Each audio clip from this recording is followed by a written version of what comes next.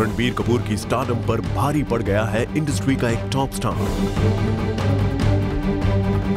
पहचान लिया हो तो बता दें कि वो शाहरुख खान ही हैं, जो फ़िल्म प्रमोशन के ट्रैक पर ओवरटेक करके रणबीर दीपिका से आगे ले गए हैं अपनी Chennai Express we both are actors and we both I get the face of this film तो हमको आगे रखा जाता है यू नो हमारी तस्वीर आती है, हमारे बारे में कुछ छपता है, शायद लोगों को क्यूरोसिटी पैदा करने के लिए, शायद लोगों को क्यूरोसिटी पैदा करने के लिए। रणबीर कपूर और दीपिका पडुकोण है, ये जवानी है दीवानी का फेस। तो शाहरुख खान और दीपिका की फेयरिंग ला रही है चेन्नई एक्सप्रेस। और आज का सबसे बड़ा अपडेट यही है कि ईद पर आने वाले चेन्नई एक्सप्रेस ने नेक्स्ट वीक रिलीज़ होने वाली रणबीर दीपिका स्टारर ये जवानी है दीवानी को एक बड़ी फ़िल्म प्रमोशन की जंग में हरा दिया है।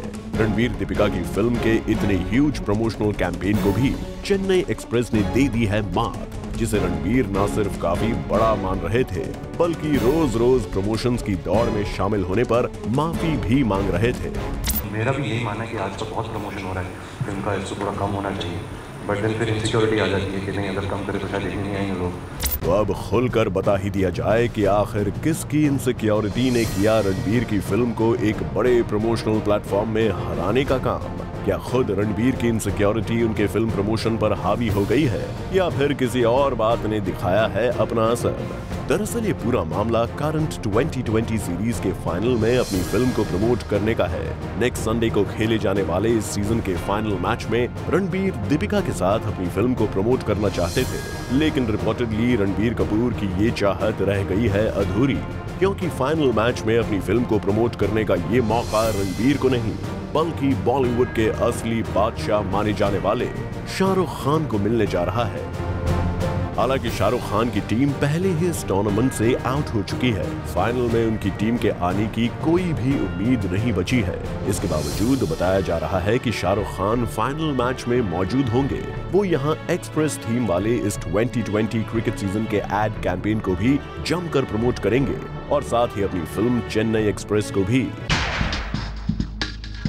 वहीं रिपोर्टेडली रणबीर और दीपिका को इस 2020 क्रिकेट सीज़न के सेमीफाइनल्स में अपनी फ़िल्म को प्रमोट करने का मौका मिल सकता है। सोर्सेस की माने तो रणबीर, दीपिका, ये जवानी है दीवानी के लिए बाज क्रिएट करने का कोई मौका नहीं छोड़ रहे हैं। फ़िल्म में अपनी केमिस्ट्री को, अपनी पास्ट लाइफ का कनेक्ट देकर दोनों ने पहले ही इस फ़िल्म को हॉट बना दिया है।